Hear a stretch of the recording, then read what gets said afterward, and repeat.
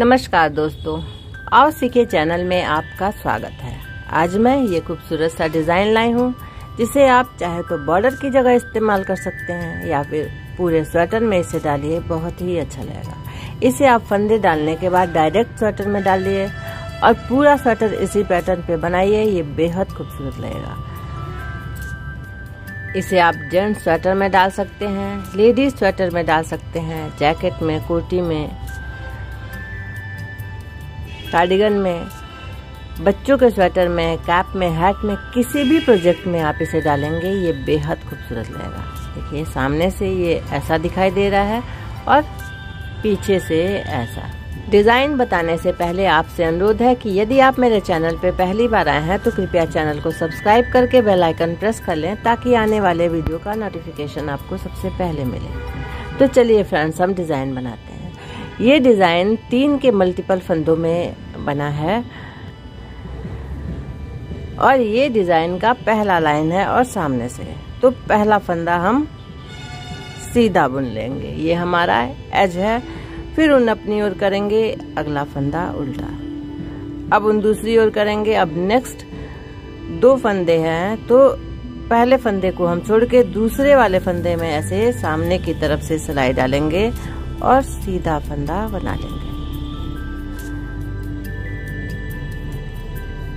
और अब पहला फंदा जिसे हमने छोड़ा था, उसमें उसे हम सीधा बुन लेंगे। तो ये हमने दो फंदे से दो फंदा बना लिया। अब उन अपनी ओर करेंगे, अगला फंदा उल्टा। उन दूसरी ओर, अब देखिए, इस फंदे को हम छोड़ देंगे और दूसरे वाले फंदे में पहले सामने की तरफ़ से सिलाई डालेंगे। इसे थोड़ा ढीला कर लेंगे, पहला लाइन है, इसलिए थोड़ी परेशानी होगी।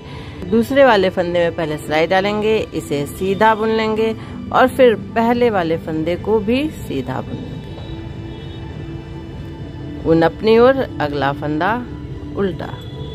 उनके अब इस फंदे को हम छोड़ के पहले दूसरे वाले फंदे को सीधा बुनेंगे। सामने की तरफ़ से सीधा बुनेंगे, फिर पहले वाले फंदे को सीधा।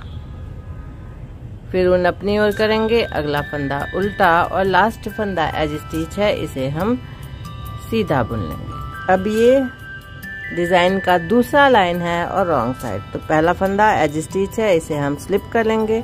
उन दूसरी ओर करेंगे, देखिए दूसरा फंदा सीधा है, इसे हम सीधा बुनेंगे। उन अपनी ओर फिर दो फंदा उल्टा। ये सीधा फंदा है, इसे हम सीधा बुन लेंगे। उन अपनी ओर करेंगे। ये दो फंदा जिसे हमने सामने की तरफ़ से सीधा बुना था, इसे हम रॉन्ग साइड से उल्टा बुन लेंगे।